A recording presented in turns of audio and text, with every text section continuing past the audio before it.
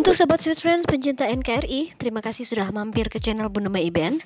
Dan bagi yang belum subscribe, jangan lupa ya di subscribe channelnya, kasih like serta komen agar saya lebih bersemangat memberikan info-info menarik lainnya. Semoga video ini memberikan pengetahuan baru yang bermanfaat dan untuk kali ini Bunda Mai ingin membahas mengenai 6 tarian daerah Bengkulu yang perlu kita ketahui.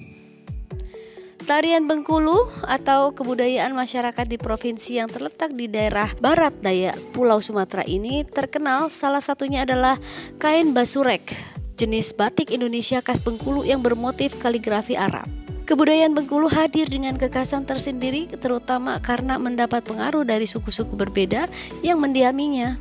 Selain produk budaya yang telah disebutkan tadi, masyarakat Bengkulu juga memiliki ragam tari-tarian tradisional yang sebagian ada yang berfungsi sebagai tari penyambutan dan ada juga yang murni untuk hiburan serta terdapat juga tarian yang bersifat sakral sebagai bagian dari upacara adat. Sebenarnya tarian daerah Bengkulu sangat banyak jumlahnya. Namun karena minimnya informasi di sini, hanya tersaji sebagian di antaranya dan setidaknya ada enam tarian khas Bengkulu yang masing-masing lengkap dengan penjelasan singkatnya. Yang pertama adalah tari kejai. Kejai merupakan salah satu tarian adat Bengkulu. Keberadaannya melekat pada upacara kejai, upacara perkawinan di Rejang Lebong, Provinsi Bengkulu, sebuah kesenian tradisi yang menghadirkan para penari berpasangan putra dan putri, umumnya berjumlah ganjil dan harus dari suku yang berbeda. Sebagai bagian dari rangkaian upacara adat perkawinan, tari tradisional ini tidak hanya melibatkan penarinya saja, melainkan juga melibatkan mempelai pria dan wanitanya.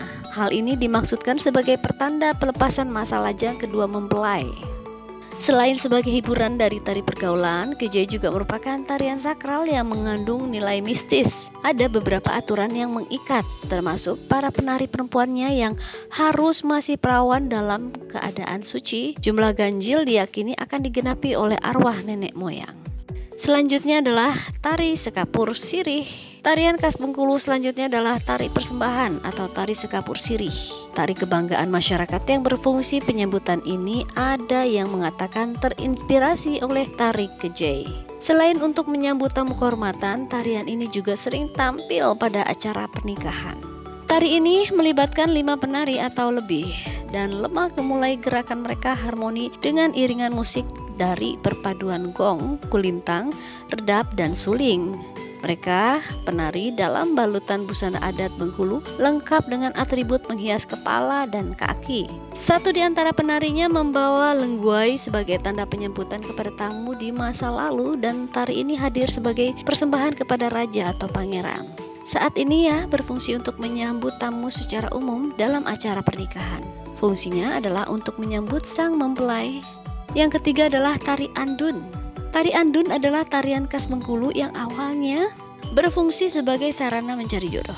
Dulu tarian ini tampil ketika masyarakat selesai panen padi. Seiring perkembangan, tarian ini kemudian lebih berfungsi untuk menyambut tamu atau memeriahkan acara-acara penting seperti perkawinan. Tarian andun biasa ditarikan oleh pemuda laki-laki atau bujang dan perempuan atau gadis berpasang-pasangan. Tidak jarang juga penarinya hanya perempuan, terutama yang belum menikah.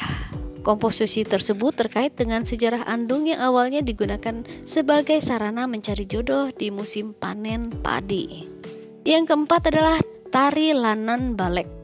Tari tradisional Bengkulu lainnya bernama Lanan Belek ini dan tarian ini terinspirasi oleh cerita rakyat Bengkulu. Cerita tentang seorang bidadari yang terpaksa tinggal di bumi karena selendangnya hilang dicuri seorang pemuda. Sekilas memang mirip dengan cerita Jakarta.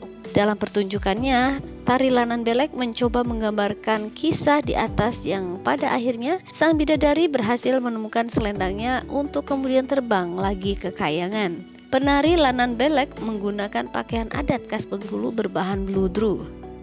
Yang kelima adalah sendra tari Putri Gading Cempaka. Selain Lanan Belek, tarian Bengkulu yang juga terinspirasi dari cerita rakyat adalah sendra tari Putri Gading Cempaka. Ini adalah kisah putri tercantik dari Bengkulu Utara.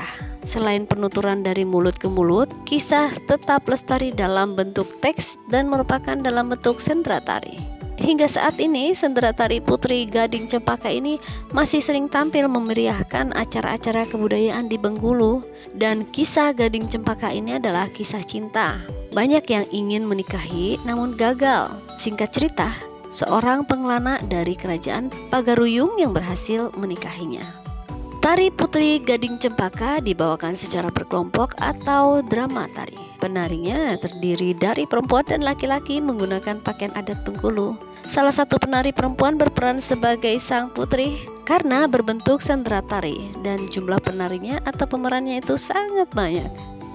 Yang keenam adalah tari ganau. Tari yang berakhir dalam daftar keenam adalah tarian Bengkulu yaitu tari ganau.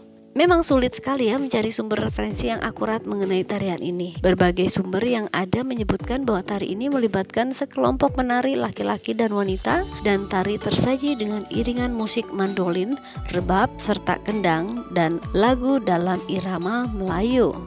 Tarian ini ditarikan dengan sekelompok penari wanita dan laki-laki yang dimulai dengan tempo gerakan lambat dan diakhiri dengan gerakan yang cepat serta menghentak-hentak. Gerakan tangan, melompat, dan formasi yang harmonis dengan iringan musik merupakan ciri khas dari tarian ganau ini dan tarian ini diiringi dengan musik serta didominasi oleh iringan mandolin, rebab, dan kendang serta lagu dengan irama Melayu.